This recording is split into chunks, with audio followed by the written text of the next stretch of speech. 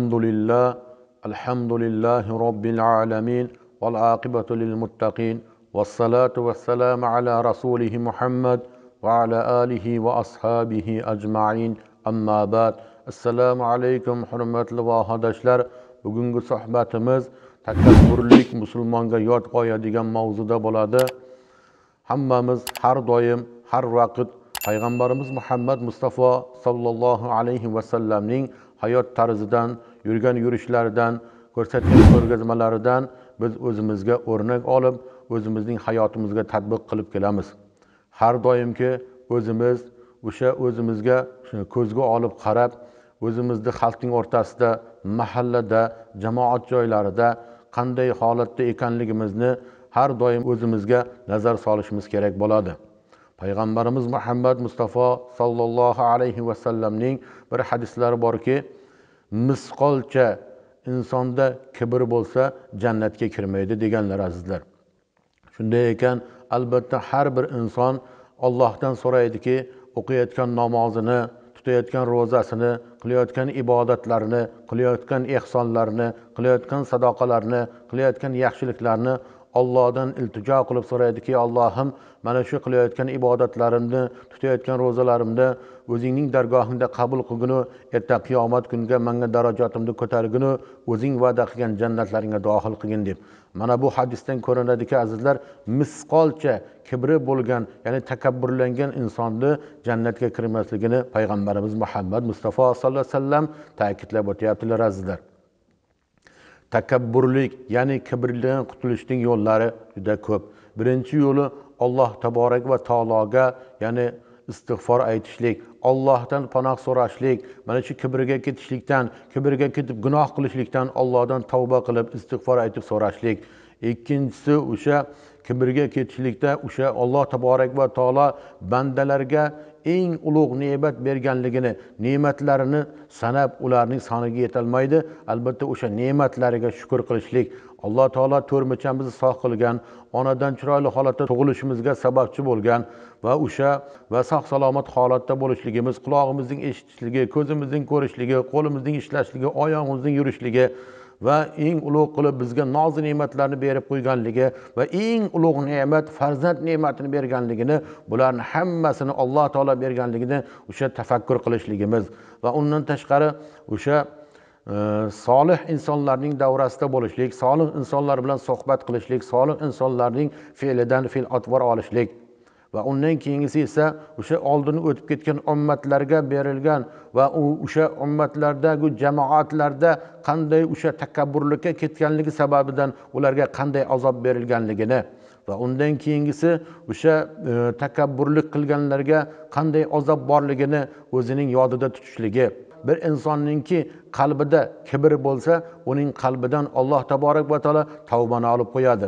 Albatta o'sha kibrga ketishligi bilan ollohni yodidan chiqaradi va alloh taborak va taolo buyurgan amallardan qaytib shaytonni yo'lidan yurib o'sha rahmonni yo'lini tark qilib qo'yadi va o'zini o'zidan o'zidan pastdagi insonlarni qaramaydi va o'zini katta tutib o'zi qilayotgan ishlarni hammasiga o'zi e, erishgandek bo'ladi azizlar.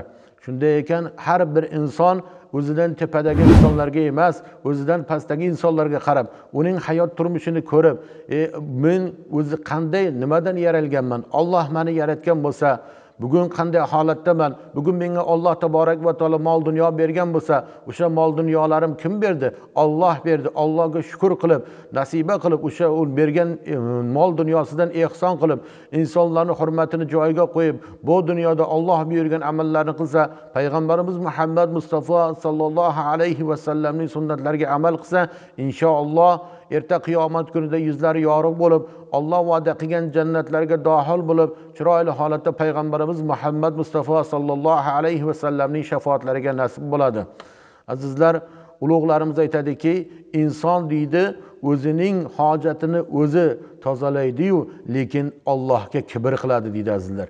Kibrlangan takabburlik bilan o'zini o'sha eng yuqoriga ko'rsatgan insonlar biron marta hech kim ko'rmaganki tavba tazarru qilib yig'lab ollohdan iltijo qilayotgan azizlar shunday ekan alloh taborak va taolo bizlarni o'zining yo'lida yuradigan payg'ambarimiz muhammad mustafa sollallohu alayhi vasallamning sunnatlariga amal qiladigan bandalar qatoridan bo'lishligini o'zi nasib aylasin allohga bu kibrlanishlik allohga has bandasiga emas azizlar.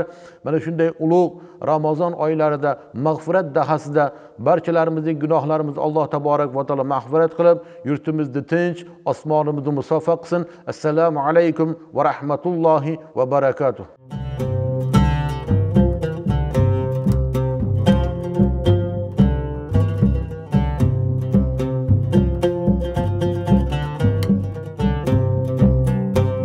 الحمد لله رب العالمين الصلاة والسلام على رسوله محمد وعلى آله وأصحابه أجمعين السلام عليكم ورحمة الله تعالى وبركاته. الله تعالى رمضان آينا برشامز مبارك قلسن.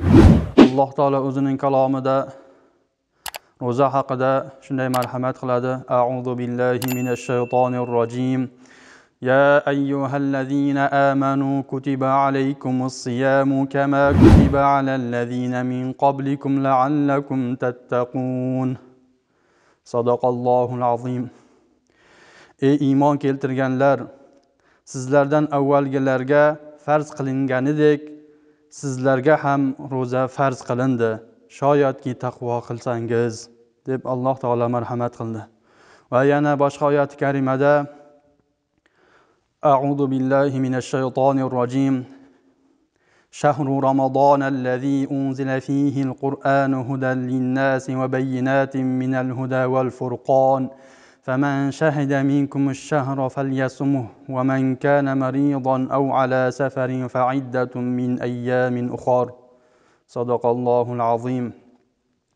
رمضان آية عند أدم لرجع هدايات حمد hidoyatu furqondan iborat ochiq oydin hujjatlar bo'lib qur'on nozil qilingan sizlardan kim bu oyda hozir bo'lsa ro'zasini tutsin deganlar shuningdek rasululloh sollallohu alayhi vasallam ham o'zlarining muborak hadislarida ro'zaning farz ekanini ko'p takrorlaganlar عن ابي هريره رضي الله عنه عن النبي صلى الله عليه وسلم قال اتاكم رمضان شهر مبارك فرض الله عز وجل عليكم صيامه. تفتح فيه أبواب السماء وتغلق فيه أبواب الجحيم وتغل فيه مرده الشياطين لله فيه ليلة خير من ألف شهر. من حرم خيراها فقد حرم رواه النسائي وبيحقي. Abu hurayra roziyallohu anhudan rivoyat qilinadi. Nabiy sollallohu alayhi vasallam sizga muborak ramazon oyi keldi. Alloh azza va jalla sizga uning ro'zasini tutishni farz qildi. Unda osmonlarning eshiklari ochilur. Unda jahannamning eshiklari yopilur. Unda o'z boshimcha shaytonlar kishanlanur. Unda allohning bir kechasi bo'lib u ming oydan yaxshidir. Kim u kechaning yaxshiligidan mahrum bo'lsa batahqiq mahrum bo'libdi dedilar. Shunday ekan azizlar bu ramazon oyini g'animat bilib bu oyda ko'proq ibodatlar qilib ko'proq yaxshiliklar qilib siylay rahmlar qilib qo'ni qo'shni qarindosh urug'lar bilan yaxshi aloqalar qilib alloh taologa taqvo qilib ramazonning barokatidan ramazonning sharofatidan bahramand aylab bu yurtimizni bu xalqimizni bu ramazonning barokatlari yog'ilsin. Alloh taolo barchamizga bu ramazon oyini muborak aylasin. Alloh taolo marhamat qilganidek laylatul qadr kechasini ham alloh taolodan umid qilib ibodat bilan o'tkazishni barchamizga muborak aylasin. Assalomu alaykum va rahmatullohi taala va barakatuh.